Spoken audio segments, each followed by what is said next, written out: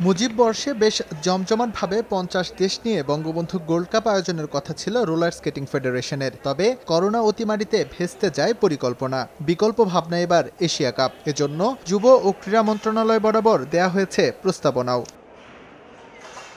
সবকিছু ঠিক থাকলে আসছে বছরের ফেব্রুয়ারির শেষ সপ্তাহ অথবা মার্চের শুরুতে আসর আয়োজন করতে চায় রোলবল ফেডারেশন। ইতোমধ্যেই বারোটি দেশকে জানানো হয়েছে আমন্ত্রণ যেখানে বড় নাম ভারত ইরান মালয়েশিয়া ও ইন্দোনেশিয়ার মতো দেশ। যে পঞ্চাশটা দেশ নিয়ে আমাদের Bangabandhu gold cup roll ball আহ, উম, করার পরিকল্পনা ছিল সেখান থেকে আমরা এসে এশিয়ান চ্যাম্পিয়নশিপ স্বল্প পরিসরে ধরেন বারোটা দেশ নিয়ে আমরা করার করার পরিকল্পনা একটা জমা দিয়েছি। মিডল অফ ফেব্রুয়ারি অথবা মার্চের প্রথম দিকে আমরা এটা করতে চাচ্ছি। আমরা পরিকল্পনা দিয়েছি, এখন অনুমোদন দিলে ইনশাল্লাহ আমরা যে কয়টা দেশ সেখানে দিয়েছি, আমরা কথা বলে ওনাদের ভার্বালি কথা বলেছি কথা বলেই কিন্তু আমরা এই জিনিসগুলো জমা দিয়েছি। অন্যান্য ডিসিপ্লিনের মতো করোনায় দীর্ঘদিন ধরে বন্ধ রোলার স্কেটিংও।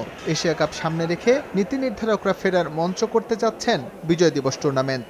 সারা দেশের স্কেটার নিয়ে ডিসেম্বরে শুরু হবে প্রতিযোগিতা। সেখানে ভালো করাদের নিয়ে চলবে এশিয়া কাপের জন্য দীর্ঘমেয়াদী ক্যাম্প এবার একটু ভিন্ন মাত্রায় আমরা প্লেয়ারদের মাঠে নামাতে চাচ্ছি বিজয় দিবস দ্বারা। প্যান্ডামিক উপেক্ষা করে আমরা মাঠে নামছি এবং স্বাস্থ্যনীতি মেনেই আমরা স্বল্প পরিসরে শুরু করছি। তারপর দেখা যাক সামনে কীভাবে এবং ইন্টারন্যাশনাল টুর্নামেন্টটাও কীভাবে আয়োজন করা যায় সেটা প্লেয়াররা মাঠে না নামা পর্যন্ত আসলে বোঝা যাবে না। সামনে যে টুর্নামেন্ট আমি মনে করি যে একটা সময় পাবো দু মাসের। দুই মাসে আমরা ক্যাম্প করে একটা ভালো রেজাল্ট করতে সক্ষম হব। করোনা পরিস্থিতি স্বাভাবিক হলে স্থগিত হওয়া বিভিন্ন আন্তর্জাতিক টুর্নামেন্টগুলোতেও অংশ নেওয়ার জন্য দীর্ঘমেয়াদী ক্যাম্প শুরু করবে roll ball federation. S M Iqbal, সময় সংবাদ, ঢাকা।